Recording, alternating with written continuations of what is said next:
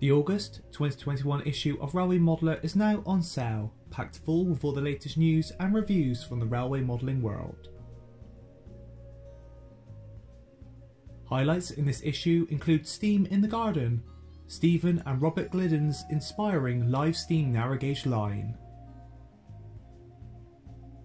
Lines to Cransley, Mike Payne's 4mm and 009 extension to his East Derbyshire Mineral Railway,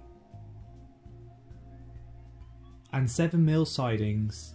Andy Peters' compact modern image O gauge layout with DCC sound operation.